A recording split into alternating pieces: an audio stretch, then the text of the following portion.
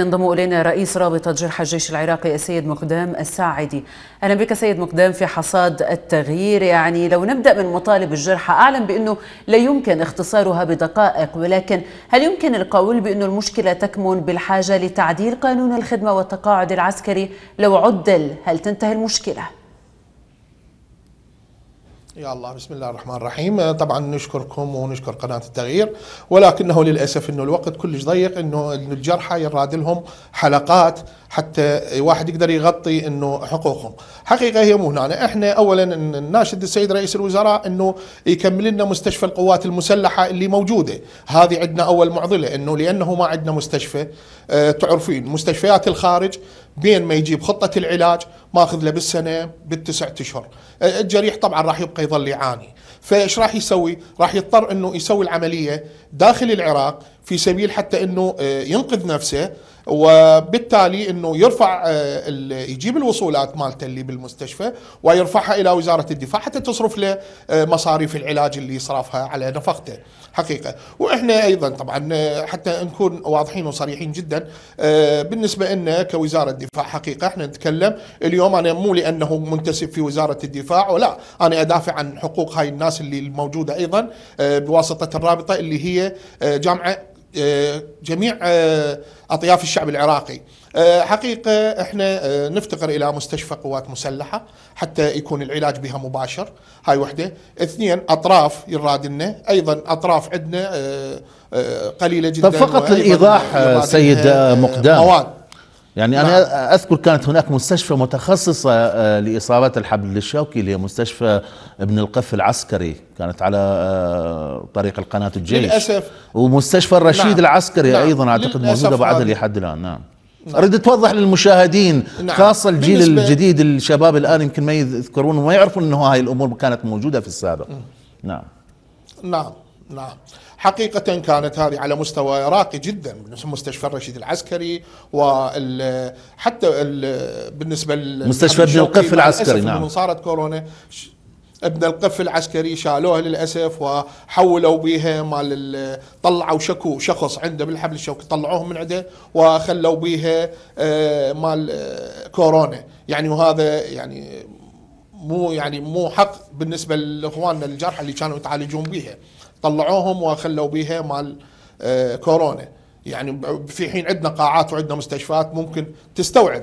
زين إحنا عندنا تعرف اليوم آه السيد رئيس طبعا وزير الدفاع كل خميس يستقبل جرحى وعوائل شهداء. عندك رئيس اركان كل ثلاثاء يستقبل عوائل شهداء وجرحى. عندك الفريق محمد الركن حميد البياتي أيضا يستقبل. عندك مدير الخدمات الشخصية قاعد بالاستعلامات مدير إدارة المراتب قاعد بالاستعلامات.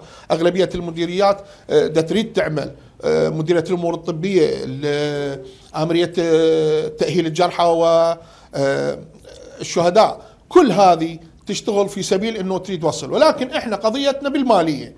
اليوم إحنا الجريح من تجي هاي معاناته كلها الخفيفة. اللي إذا تشوفه أنت اللي دا يعانون من عندها هو إنه يريد الجريح حقوقه إنه يريد يحصل له قطعة قاع. قطعة الأرض هذه ما قاعد تعطيها لا البلديات ولا المحافظين. أنا أوجه رسالة إلى السيد رئيس الوزراء المحترم إنه يوجه نداء إلى كافة المحافظين بإعطاء قطع الأراضي للجرحى. العوائل الشهداء. ونخلي تكون ممي... يعني خلي تكون إنه فقط حصرا لعوائل الشهداء والجرحى ليش؟ لأن أكو تدخلات جانبية ما جاي تخلي المحاضر تمشي بالبلديات حتى تستلم هاي الشرائح المظلومة. من يتدخل بهذا الملف تحديدا نعم. سيد مقدام؟ والله هي مؤسسة الشهداء اللي هي طبعا انطتنا هذه القطع الأراضي إنه أنت الجريح مستثنى عن مسقط الرأس. للأسف بغداد نهائيا ما أنطونا بها ولا ذرة قطعة قاع. تحولنا حاولنا نحول للبابل للكوت لهاي المحافظات المجاورة في سبيل حتى ينطونا. ولكن دا ننصدم أبو البلدية المحافظ أمور أخرى. دا يجيبون أسماء ما أعرف منين دا يدخلوها بالمحضر. اللي يوزع بقطع الأراضي. فلذلك تصير الإشكالات. لا يخلون شهداء ولا يخلون جرحى. فإحنا اللي مع الأسف إحنا اللي اللي اللي ضحينا واللي انطينا. دا نصير ضحية لهؤلاء اللي ما قاعد ينطونا حقوقنا من قطع الأراضي. وهاي أبسط حقوق يعني. نعم. العائلة الشهيد أو للجريح. زين؟ نعم. نعم. وتعرفين عندنا مستلزمات أخرى. يعني هسه إحنا تركنا السيارة تركنا المنح. عندك مصرف الرافدين. اليوم العالم مطنت. الجرحى ما كانت يعني هسه إحنا من اريد أروح اكفل صاحبي سابقا ما ممكن أقدر اكفله. كفالتنا ما مقبولة للأسف. في حين إحنا كافلين الوطن برواحنا انطينا شهداء وهاي الجرحى وللأسف. على كل قالوا توطين وطنا رواتبنا. اي نعم. الرافدين مصرف الرافدين انطى تعليمات إنه ينطي مصاري لحد الآن الجرحى موطنة عنده ما مدى ينطي أي آه، سلف. ودا ناخذها يعني آه، خلف الله على السيد فريق محمد البياتي وأخونا ماهر نعم. الإعلامي. دا يروحون يستثنون بعض الجرحى ودا يعطوهم اتضحت الصورة أكثر من خلالك اذا سيد مقدام. رئيس رابطة جرحى الجيش العراقي السيد مقدام الساعدي. أه تود إضافة شيء معين؟ تفضل. نعم إحنا أنا أطالب من خلال التغيير نعم. إنه يكون آه، أتمنى إنه السيد رئيس الوزراء يقابلني في سبيل حتى انطي كل ملف الجرحى حتى نخلص من هذا الملف الشائك اللي اللي, اللي صار لنا إحنا منذب عليه آه، تراكمات مال آه، ونتمنى أن تصل هذه الرسالة عبر التغيير اليوم أه. إذا السيد مقدام الساعدي لأنه بدنا نشوفه يلتقي بالمواطنين ده يلتقي بالناس. نعم. حتى نقدر نوصل له لأنه اليوم لا أريد أختصرها ما تختصر. أنا نعم. اليوم محمل أمانة إنه الجيش كله ده يقول لي أبو فرح اليوم تطلع على التغيير أريدك تحكي لنا بالبديل.